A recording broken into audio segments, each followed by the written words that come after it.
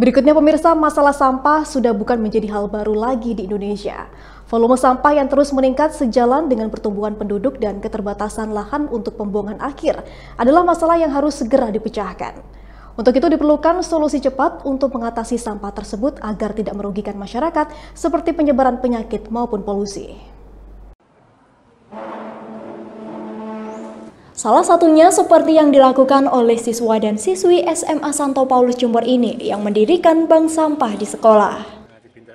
Selain memberikan pemahaman tentang sampah, bank sampah ini ternyata juga bisa menghasilkan pundi-pundi uang hingga jutaan rupiah. Berbagai jenis sampah dikumpulkan setiap harinya oleh siswa dan siswi sekolah, seperti sampah plastik, botol bekas, hingga limbah alat sekolah. Bank sampah ini masuk dalam ekstrakurikuler pendidikan lingkungan hidup. Setiap hari Senin, usai kegiatan belajar mengajar, sampah-sampah yang terkumpul oleh siswa di kelas akan disetorkan di bank sampah.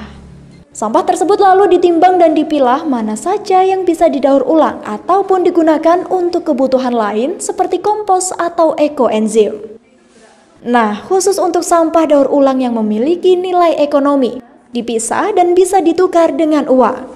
Uang hasil sampah tersebut tidak langsung diberikan namun ditabung terlebih dahulu di bank sampah dan bisa diambil oleh siswa di akhir tahun. Salah satu anggota ekskul Dean mengaku kegiatan ini sangat menyenangkan karena bisa menjaga lingkungan sekolah dari sampah. Selain itu, keuntungan lain yakni bisa memperoleh uang yang bisa dimanfaatkan kembali oleh para siswa. Ekskul PLH ini menurut Masnya gimana nih? Jadi kalau menurut saya ini menyenangkan ya kayak juga ini mengolah lingkungan agar lingkungan bersih dan juga tentang itu apa pemanasan global juga kita juga mengurangi dengan di lingkungan PLH ini. Hmm. Apa saja yang diterima di PLH ini? sampahnya?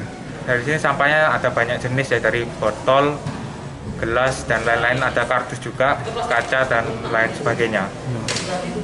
Untuk keuntungan bagi yang uh, menyerahkan sampahnya apa aja? Yang untuk keuntungannya bisa uang juga ada dapat nanti untuk yang keuntungannya. Sementara itu Dina, pembimbing ekskul PLH menyebut, hingga kini antusiasme siswa dan guru dalam mengumpulkan sampah di sekolah cukup tinggi. Bahkan untuk sampah yang bisa didaur ulang seperti plastik, siswa dan siswi bisa meraup keuntungan jutaan rupiah setiap tahunnya. Namun tak hanya mengincar keuntungan semata, program ekskul PLH ini diharapkan bisa memberikan pemahaman kepada siswa sekolah agar menjaga kebersihan lingkungan untuk kesehatan bersama. Ekskul PLH ini ada 16 orang, tapi kami juga melayani murid-murid yang lain bagi murid-murid yang ingin menabungkan sampah di bank sampah yang dikelola oleh murid-murid PLH ini. Jadi sampai saat ini keanggotaannya tidak hanya dari murid, tetapi juga dari karyawan di sekolah, termasuk juga bapak ibu guru. Total ada sampai saat ini ada 40 pesertanya. Gitu. Dan kemungkinan pasti akan nambah terus karena uh, baru satu bulan ini kami mulai kegiatan pada bulan Agustus itu uh, antusias sekali murid-murid dan bapak ibu guru untuk menyetorkan atau menabungkan sampahnya ke bank sampah PLH ini. Kenapa sih Bu uh, harus ada PLH di sekolah ini? Ya ini sebagai wadah bagi murid-murid untuk mengekspresikan bagaimana mereka mencintai lingkungan mereka.